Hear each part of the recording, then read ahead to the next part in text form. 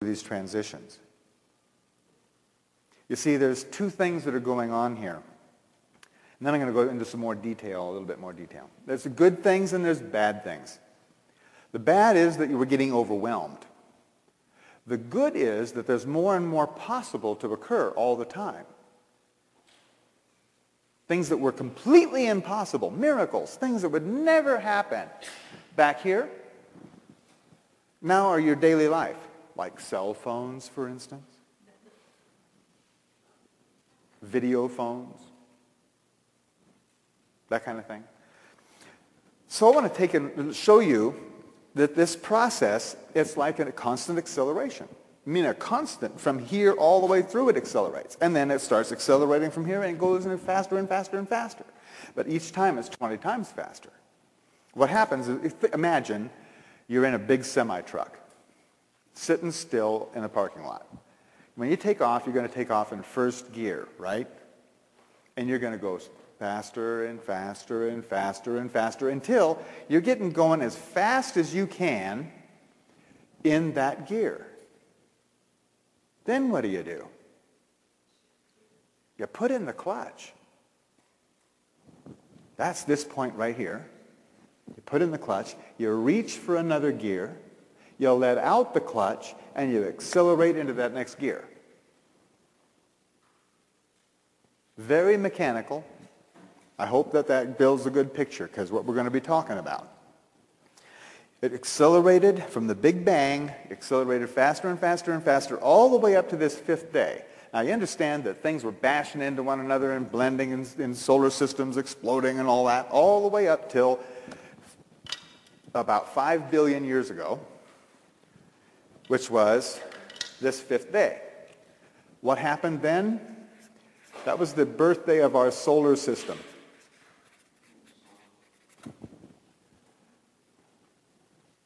In every one of these fifth days, it's the biggest opening for consciousness of the whole deal. It races up to that point and then wow!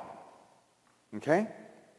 So go, go, go, go all the way up till this period and then the solar system was formed. That's a big event for all of us. Then, during this fifth night, that's when everything gets applied, right? What happened? 250 million years of meteor bombardment. All the leftover junk in the solar system started plowing into all the formed planets.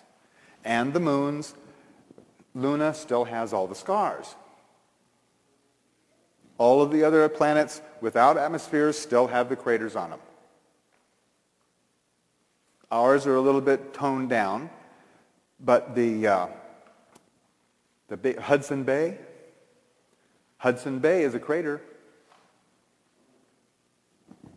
from that period of time. There are many, there's about five major ones on this planet that's still pretty prominent. Those meteors just plowed into everything. Good thing they did too because every drop of water on this planet came in with those comets. Every single drop. If that didn't happen, your bodies would be really small because you're like 87% water. Yes? Hi.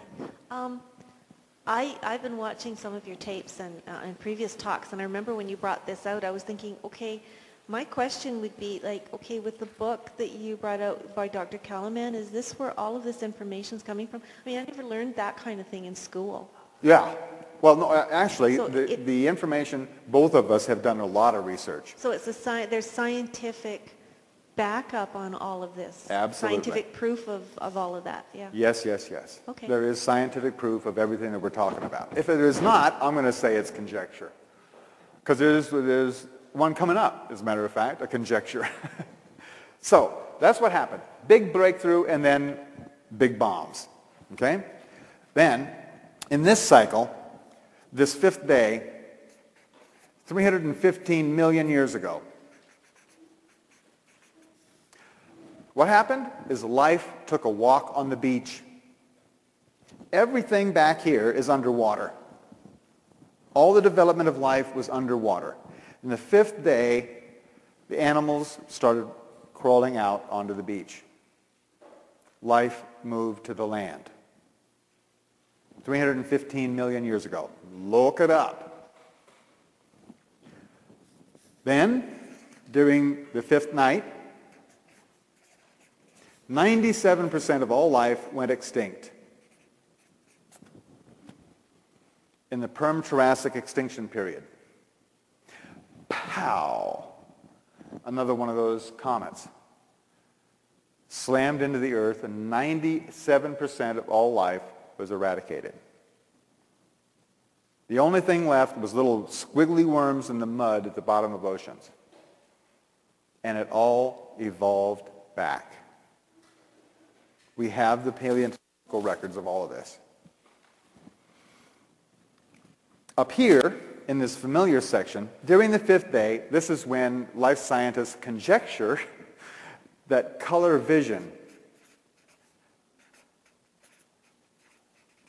was installed in mammals. Color vision came in right then. And right here, during this fifth night, we don't know what happened. We don't have any conclusive data of anything that occurred there. But the monkeys made it, or we wouldn't be here. Whatever they went through. But here in the tribal cycle, this fifth day is 800,000 years ago. And something very special happened during this fifth day. Very important. Fire.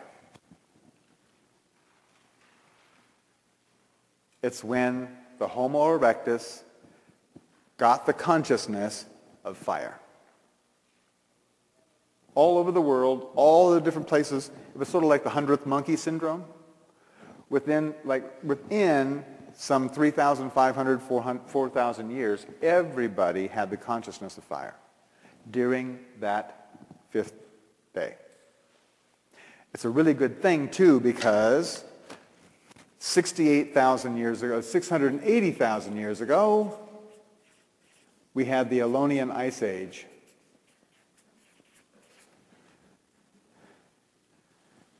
During the fifth night.